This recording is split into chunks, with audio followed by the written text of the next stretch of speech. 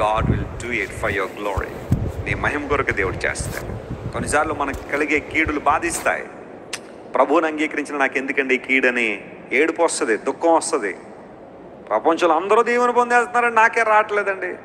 ప్రభువుని అంగీకరించిన వాళ్ళు బాగా స- డెవలప్ అయిపోతున్నారండి. మేము ప్రభువుని వెంబడుతుంటే మాకు ఎందుకో జరగట్లేదండి. కొన్నిసార్లు వాళ్ళని వీళ్ళని చూసి చాలా బాధ మత్సరం అనేది కొన్నిసార్లు వచ్చేస్తూ ఉంటుంది.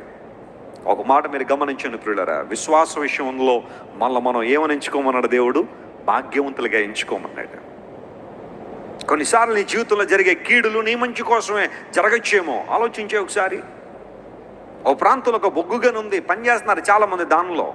అందులో ఒక ఆయన క్రైస్తవుడు. రోజు చక్కగా ప్రార్థన చేసుకుని పనిచేస్తూ ఉన్నాడు. ఆ బొగ్గు గనిలోకి వెళ్ళాలంటే ఏం చేయాలంటే మొత్తం స్టాఫ్ అంతా వచ్చిన తర్వాత వాళ్ళని ఒక లిఫ్ట్లోంచి కింద తీసుకెళ్తారు.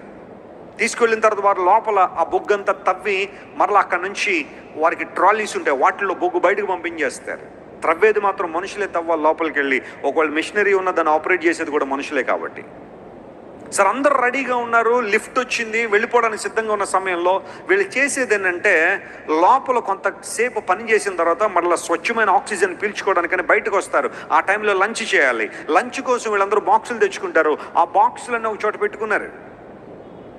పెట్టుకోగానే లిఫ్ట్ వచ్చింది. రండి ఎక్కండి అనే సమయానికి లిఫ్ట్ ఎక్కుదాం అనుకున్న సమయంలో ఒక కుక్క ఈ వ్యక్తి యొక్క బాక్స్ పట్టుకుని వెళ్ళిపోతుంది క్యారేజ్ పట్టుకు వెళ్ళిపోతుంది. ఈయన చూశాడు లిఫ్ట్ ఎక్కుదామా కుక్క వెనకాల పరిగెత్తాలని. ఎందుకోసం? మధ్యాహ్నం క్యారేజ్ లేకపోతే భోజనం? లేదు. దేవుని బిడ్డ అందరూ హేళన చేశారు. రే నీ క్యారేజ్ని ఎవరు ఎత్తుపోతున్నారు కుక్క ఎత్తుపోతుందిరా చూసుకోరని దేవుడు ఏం చేస్తున్నాడో అని ఇక సమయం దొరికితే చాలు. అవకాశం దొరికితే చాలు. దేవుణ్ణి అతన్ని ముడిపెట్టేసి ఏదో విధంగా బాధించాలని అందరూ హేళన చేసి నవ్వుతూ ఉంటే దయచేసి మీరు వర్క్లోకి వెళ్ళండి నేను వచ్చేస్తాను. ఆ క్యారేజ్ నాకు చాలా ఇంపార్టెంట్. మధ్యాహ్నం భోజనం చేయాలి కదని చెప్పి ఇతను ఆ కుక్క వెనకాల పరిగెత్తుకుంటూ వెళ్ళాడు. అదలా అలా తిరిగి పరిగెత్తి పరిగెత్తి పరిగెత్తి సెంటర్లో తీసుకెళ్ళి క్యారేజ్ వదిలేసి అది వెళ్ళిపోయింది అది. పట్టుకుని మెల్లగా వచ్చారు ఈ లోపల వీళ్ళందరూ ఆ లిఫ్ట్లోంచి దిగేసి వారు వర్క్ స్పాట్కి వెళ్ళిపోయారు. వర్క్ స్పాట్కి వెళ్ళిపోయిన తర్వాత ఆ లోపల నుండి ఎమర్జెన్సీ అలారం మోగుతుంది. వీళ్ళు వెళ్ళి వెళ్ళగానే ఆ బొగ్గుగనంతా కూలిపోయింది పిల్లరా వెళ్ళిన వాళ్ళందరూ చచ్చిపోయారు. ఈయన ఒక్కడే బ్రతికాడు. ఈయన ఒక్కడే బ్రతుకున్నాడు. అందరూ ఆశ్చర్యపోయారు. ఇతను కూడా చనిపోయాడని అందరూ అనుకుంటున్నారు. ఎందుకోసం ఆ బ్యాచ్లో ఇతను కూడా లోపలికి వెళ్ళాలి. కానీ ఆ కుక్క వచ్చి క్యారేజ్ తీసుకెళ్ళిపోవడంతో ఇతను ప్రాణం ఏమైంది?